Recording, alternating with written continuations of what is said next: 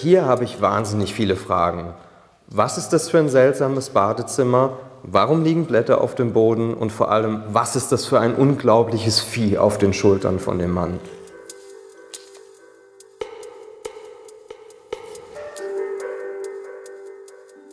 Jonas Bogart malte dieses Bild und am auffälligsten ist sicher dieses Wesen auf den Schultern des Mannes.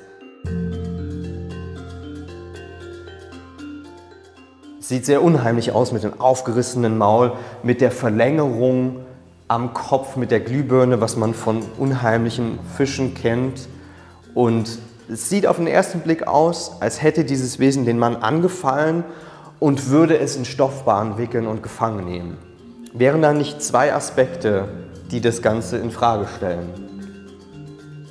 Zum einen ist das Tier selbst in Stoffbahn eingewickelt und sieht nicht aus, als könnte es sich frei bewegen. Und das zweite ist diese unheimliche Hand.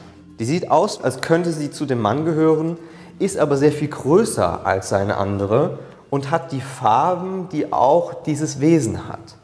Gehört sie nun zum Mann, zum Wesen oder zu beiden? Man kann es hier an der Schulter nicht genau erkennen, aber es sieht aus, als wäre es die Verbindung von beiden. Vielleicht steht dieses Wesen sinnbildlich für eigene innere Dämonen, die man bekämpft und die schwer auf den eigenen Schultern lasten. Was an dem Bild noch wahnsinnig schön ist, ist, wie Jonas Bogart mit Kontrasten arbeitet. Wir haben helle und dunkle Kontraste. Wir haben sehr wilde und gestisch gemalte Elemente und sehr fein ausgearbeitete. Wir haben Schärfen und Unschärfen und das entspricht dem Inhalt. In seinen Gemälden geht es um das Gegensätzliche in unserem Leben, um die Widersprüche, denen wir begegnen.